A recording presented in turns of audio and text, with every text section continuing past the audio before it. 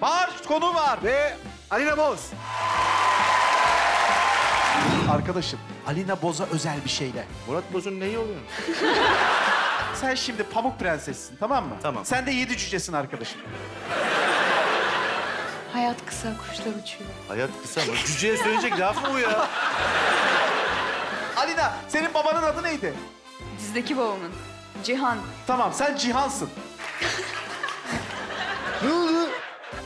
seviyorsun onu mu en çok? Yavrum, e, aşkım, aşkım, aşkım. Talk Show yeni bölümüyle cumartesi akşamı Fox'ta.